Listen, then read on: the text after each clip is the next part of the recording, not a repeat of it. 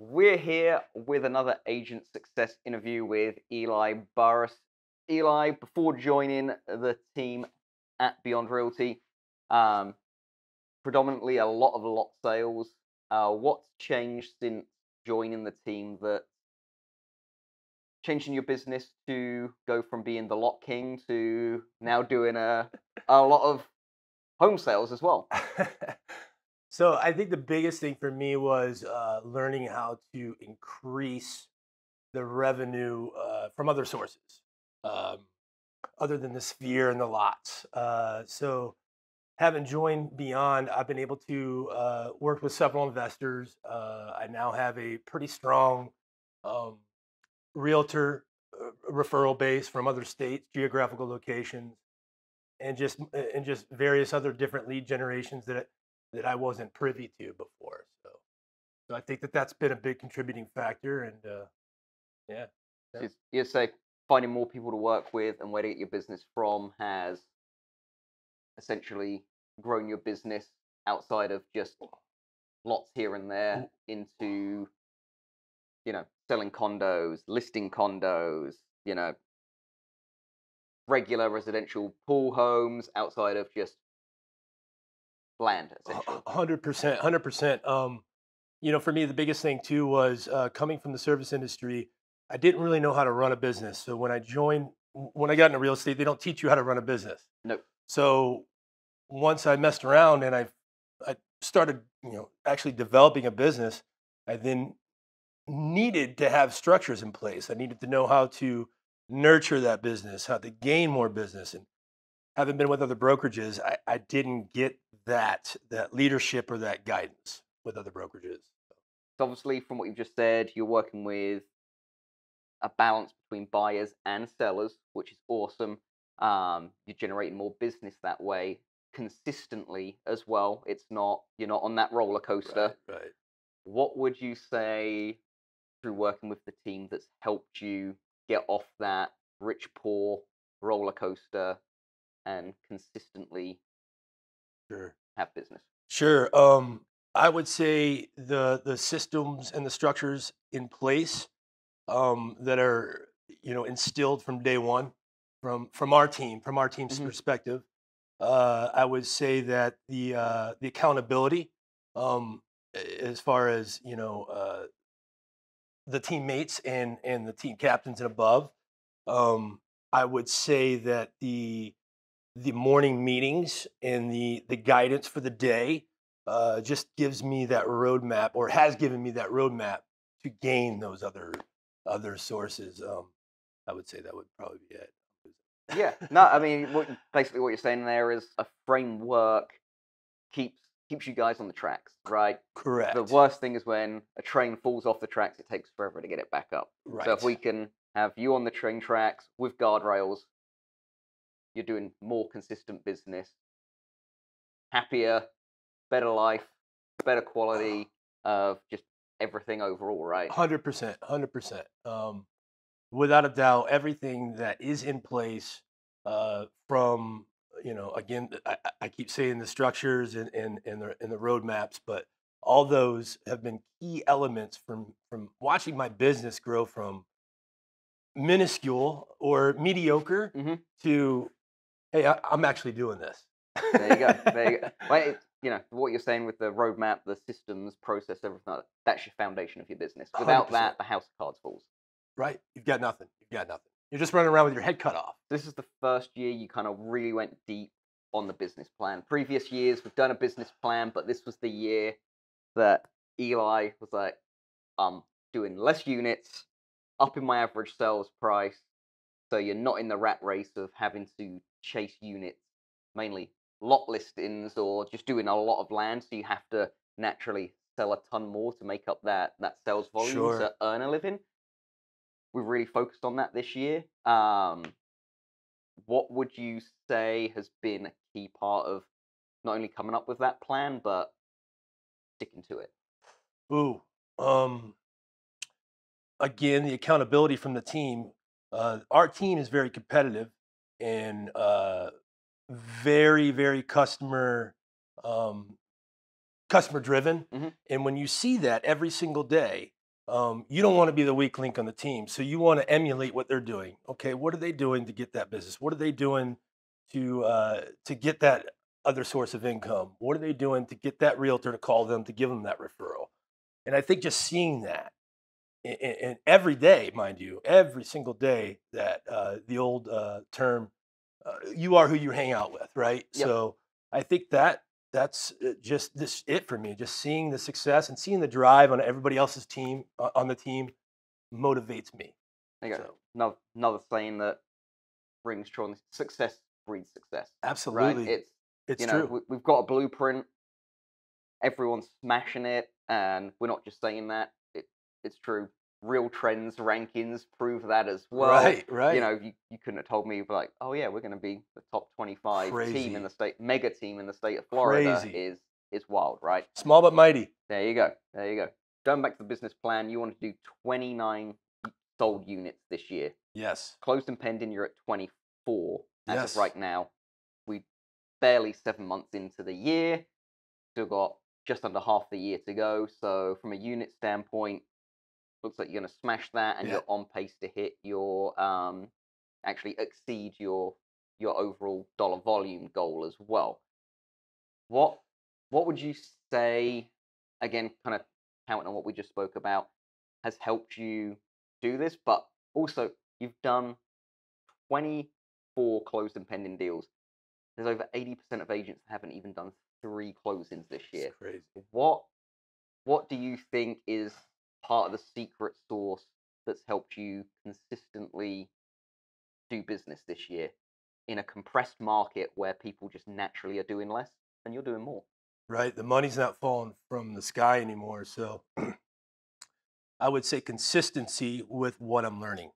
Um, what I'm learning through the team and, and, and what we're offered through the team, uh, you know, it's up to you to absorb it and, and execute on it. And, uh, and I think that me absorbing, executing, and being consistent with, with, you know, how it's laid out I think that's been a huge contributing factor to to that. I, I would have to say, just the consistency, um, you know, consistency on every different level, consistency on training, consistency on on on accountability. You know, where it, it- it's always it seems like we're always being pushed forward. There you go. And I think the other the other part of it is you're one of those guys that at times when you get busy you can get a little bit overwhelmed. Oh yeah. And you know, you almost like go under a, a rock. Oh, yeah. In a way. Oh, yeah. and th- there's this like, oh my god, what am I doing? How do I keep up? What would you say that's helped you be able to do more business consistently? Now I know from generating business, you're big into what we call is the five five four. Right. So that's calling five people you do know, five people you don't know, and four follow ups. yes. That that's like the most manageable piece I think for that you've taken and just ran with it, and it's it has changed your business. Hundred percent. There are so many um, different techniques to gain business out there, and for the type of person that I am, I hear them all and I can get overwhelmed. When I heard the five five four, I said simple, easy, clean, concise, direct. I could do that, and uh, implementing that has uh, it's it's grown my business exponentially. Yeah. From just a simple five five four. Yeah. That's it. I mean, you, you know. Uh, so now from there, what do we do? You you compound and you and you start to add the other layers to it, and then Yep. you know next Build- year this is going to be a different conversation. Build, building a huge lasagna. Um, and so obviously you've got you're doing a lot of listings, a lot of pendings. I mean, there was what last month you had about six or seven closings back to back to back. Talk to us how important like a transaction coordinator is to you um, from never having that Wow. and also having our our admin team help you with the time stuck stuff so you can continue to do what you need to do to generate more business. Great question, because this is something that I thought that I was going to be releasing control of. I, I like to be hands-on with every aspect of the transaction, so I thought I'd have a difficult time with that.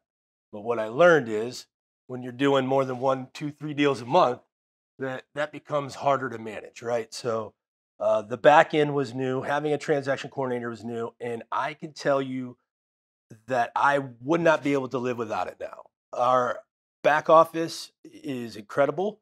Um, Jamie is incredible. Norlin is incredible. Uh, they keep us on the up and up.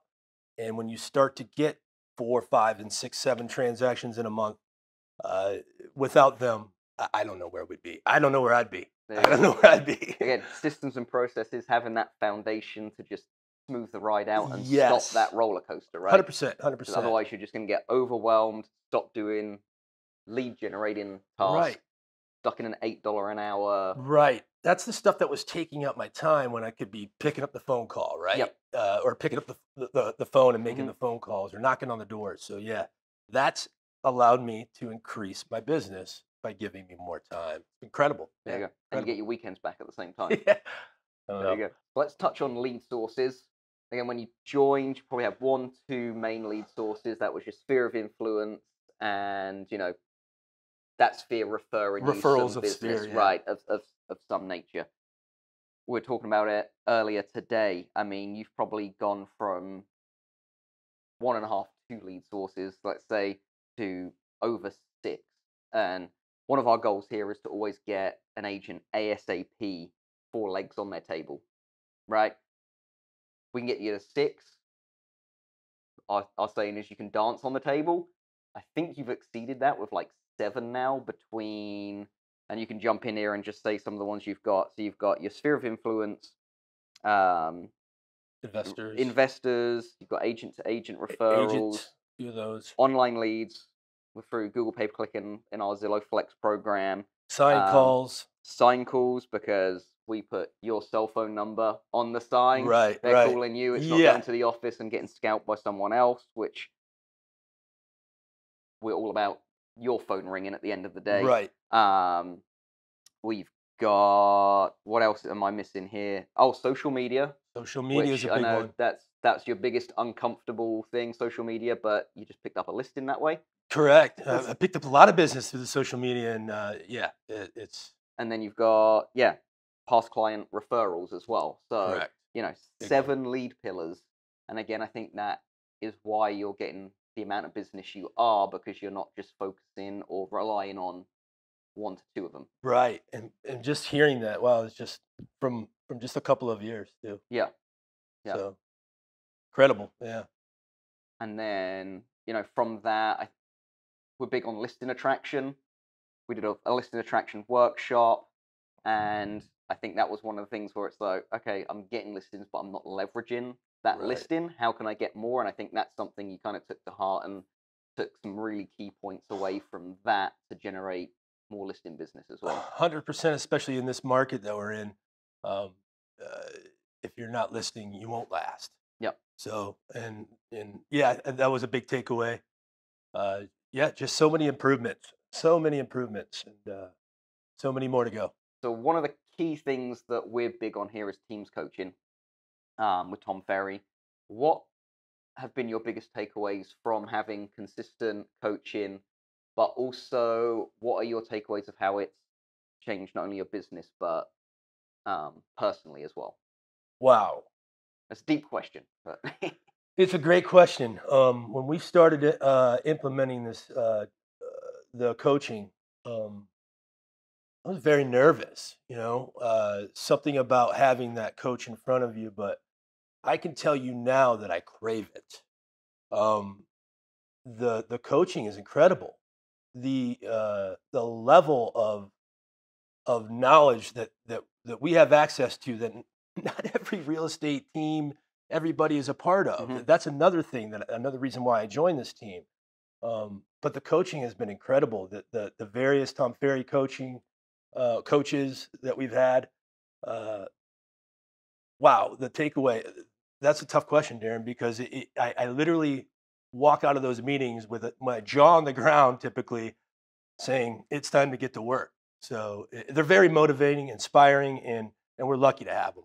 one-on-ones are popular, surprisingly, uh, in the team. How would you say that one-on-ones have worked for you personally? What do you get out of them, and why are they important? Something else I wasn't sure how I would react to. Uh, um, you know, just a, an added layer of accountability. Um, uh, I can tell you now, um, much like the coachings, I crave them. Um, they're optional, um, but I but I take advantage of them as as often as I can for that personable personal accountability. Our sales manager uh, takes the time out of her day to spend a half hour with you to talk about you, your performance, what do you need, uh, what do you need to get there, or sometimes often, hey, you need to be doing this or you need to be doing that. Who wouldn't want that in their business, right? I mean, and it's it, it- it's every week, right? So so every week you get a chance to either uh, have a com- an honest conversation with yourself on how you're doing or or what needs to happen.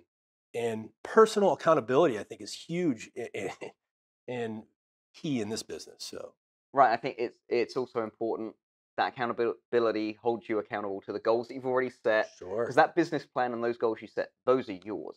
right? Yeah, We're we're there. Lorena, our sales manager's there. The whole team's there to help you achieve your goals. So many other places, every year you do a business plan, but then no one holds you accountable No. to it. And then it you gets- don't you don't hit those numbers, and you're like, well, what was the point of me? Yeah. doing that. gets it gets filed away, and and and the and the bosses and it never talked about again. Yep. Eh, eh, Not not here. Every Right. week, it's you know this is where you're at in your goal. Yep. Uh, so yeah, that that's been a huge driving force for me, um, and, and I look forward to those one-on-ones um, for that personable personal When they, accountability.